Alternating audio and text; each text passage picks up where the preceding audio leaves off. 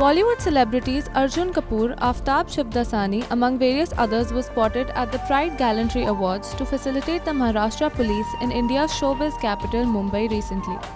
Interacting with the media, Arjun said, I would like to take pride in the fact कि uh, मैंने कड़ी मेहनत की है अपने बलबूते पर यहाँ तक पहुँचा हूँ जी इंडस्ट्री में पला बड़ा हूँ but I never taken it for granted and I always made sure that I give two hundred percent I take tremendous pride that I've uh, worked uh, my hardest to make sure that I deservedly stand where I'm.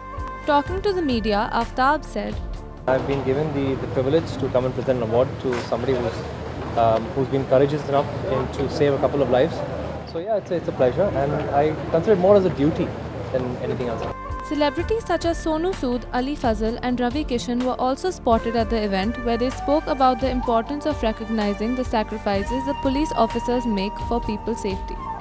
From ANI Mumbai's Bureau.